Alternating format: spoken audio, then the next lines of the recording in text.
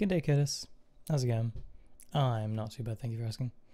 Actually, I'm, I'm, I'm- actually doing pretty awesome. Thank you for asking.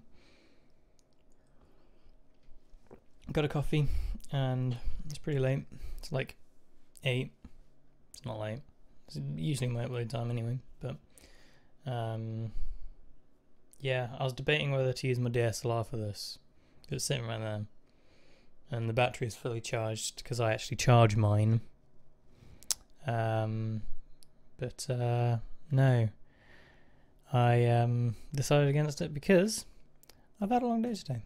I've had a long day today. It's been tiring, but I'm here. I'm alive.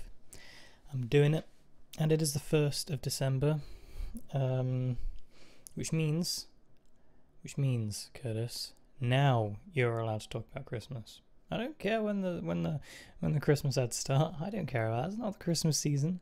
That is not. There's not a time to celebrate Christmas. Okay.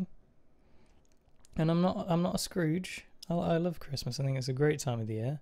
I think it's fantastic. But, but, we have 25 days before Christmas to talk about Christmas. We can talk about it during those 25 days. No time before, and definitely no time after. Okay. Okay. Cleared up? Yeah? Because cause I had someone uh, like midway through November who I was serving, and they were like, Oh, thank you, Merry Christmas. It's like, mate, we don't even have a tree up.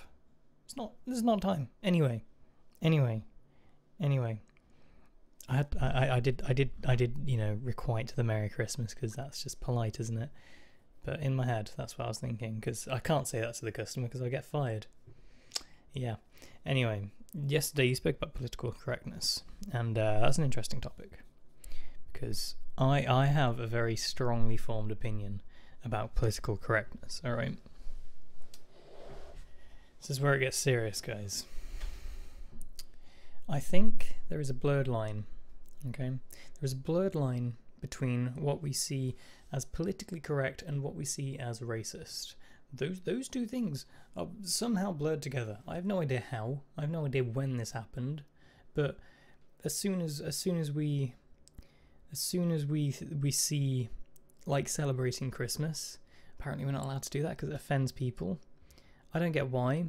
Because if they're going to move to a if if they're if they're going to move to a Christian um, country, they're going to move to a Christian country and then complain about what we do. I don't know, man. I don't know. Like you're quite you're quite all right to to celebrate your own religion stuff. You know, you're you're quite Ramadan is fine. All all that all that stuff. It's absolutely fine. I don't I don't care what you do in your own home. However, however, even if I was Jewish or something, or or um, Muslim or Buddhist, I wouldn't care that Christmas is being celebrated on TV, because I I know full well that I'm going into a um, that, that was uh, Steam by the way. I've just realised that I've got um, Windows sounds on, but yeah, I know full well this is a Christian country and we celebrate Christmas here. Okay, that's my opinion in a in a short gist. There is there is a line between political correctness and political correctness and racism which shouldn't be there. It's it's it's unjustified, I guess.